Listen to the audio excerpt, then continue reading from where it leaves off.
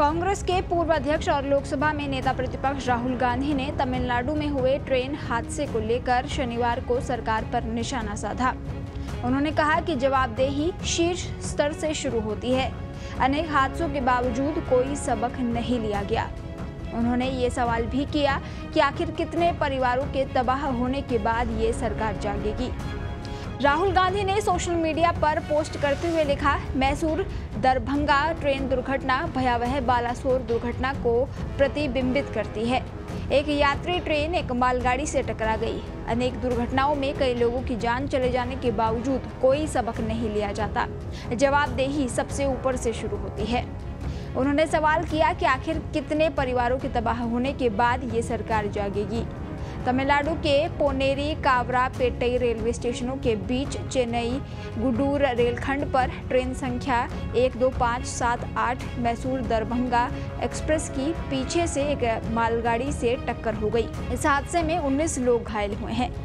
जानकारी के मुताबिक जिस वक्त ये ट्रेन हादसे का शिकार हुई, उस वक्त इसकी स्पीड करीब पिचहत्तर किलोमीटर प्रति घंटा थी।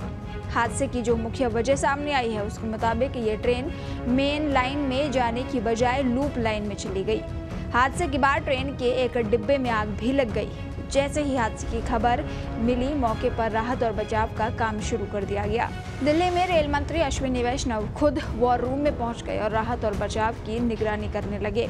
उधर तमिलनाडु के मुख्यमंत्री एम के स्टैलिन ने घटना पर दुख जताया है। रेलवे बोर्ड ने कहा है कि चेन्नई रेल डिवीज़न के पोनेरी कावरापेटे खंड में हुई एक्सप्रेस ट्रेन और मालगाड़ी की टक्कर में किसी यात्री की मौत होने की खबर नहीं है।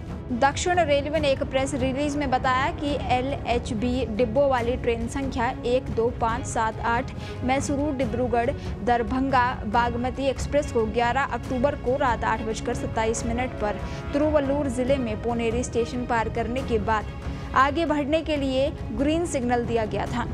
लेकिन काबरापेटाई स्टेशन में प्रवेश करते समय ट्रेन के चालक दल को तेज झटका लगा और ट्रेन मेन लाइन में जाने की बजाय लूप लाइन में प्रवेश कर गई और वहाँ खड़ी मालगाड़ी से टकरा गई।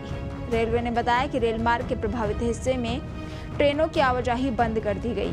रेलवे की कोशिश है कि जल्द से जल्द प्रभावित मार्ग पर रेल परिचालन को सामान्य किया जाए।